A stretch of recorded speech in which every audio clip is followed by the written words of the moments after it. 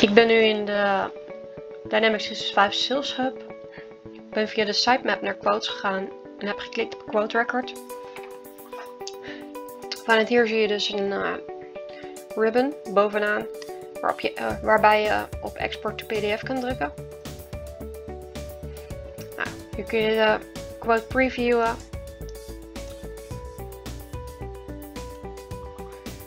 Je zou hem vanaf hier kunnen downloaden om lokaal op te slaan. Je zou hem direct kunnen e-mailen. Naar de desbetreffende persoon.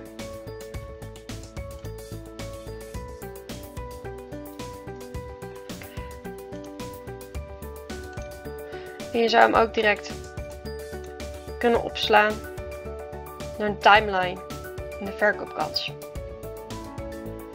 Dit houdt in dat je hem dus als je terug gaat naar de opportunity, oftewel verkoopkans,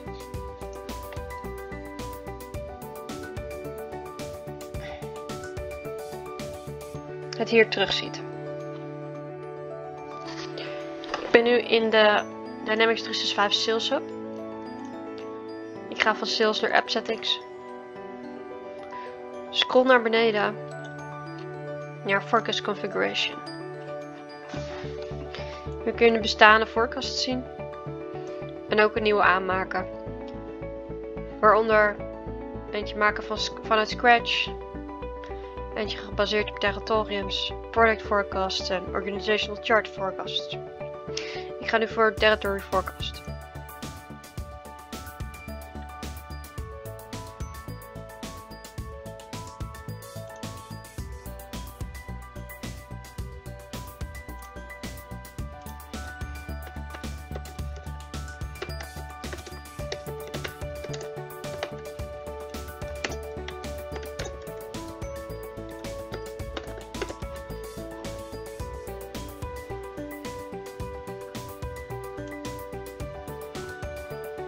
Hier kunnen security rollen toegevoegd worden. Die toegang hebben tot deze, deze forecast.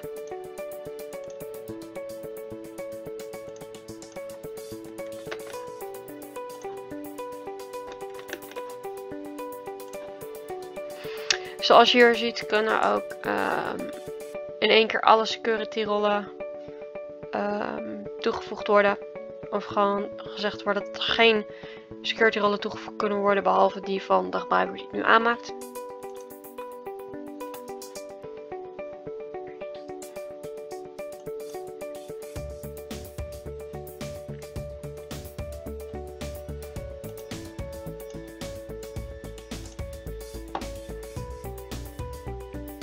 To configure. Next.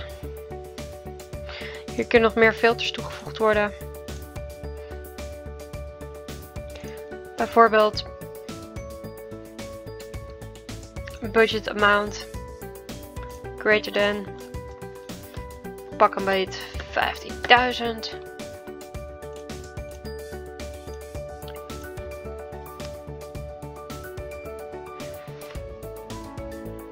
Account manager is in dit geval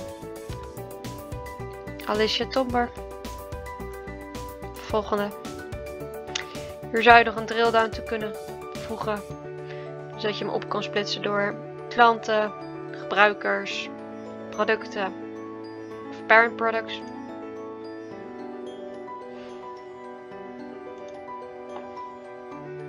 Hier het mogelijk om de forecast te activeren.